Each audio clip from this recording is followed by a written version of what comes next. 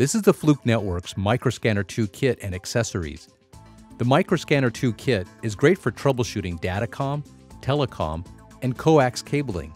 Using the Microscanner 2, you'll be able to easily locate cables and identify the distance to various cable faults. Here's an example of using the wire map adapter on a bad patch cord. Now we're going to find out where this drop goes. We see it's plugged into a switch somewhere. To find the drop, start toning with the microscanner 2. Using the IntelliTone probe, we can start to search for the cable. Switching the IntelliTone probe from locate to isolate, we can narrow down our search.